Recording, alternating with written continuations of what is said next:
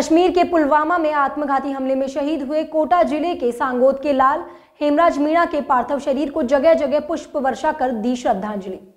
कश्मीर के पुलवामा में 14 फरवरी को सेना के जवानों के काफिले पर हुए आतंकवादी आत्मघाती हमले में शहीद हुए कोटा ज़िले के सांगोद के लाल, हेमराज मीणा की पार्थिव देह को सेना के ट्रक से सांगोद ले जाते समय पेज की बावड़ी, हिंडोली, बूंदी सहित कई जगह पर लोगों ने पुष्प वर्षा कर शहीद को भावभीन श्रद्धांजलि अर्पित की व पाकिस्तान, मुर्दाबाद, हिंदुस्तान, जिंदाबाद शहीद हेमराज अमर रहे के नारे लगाए।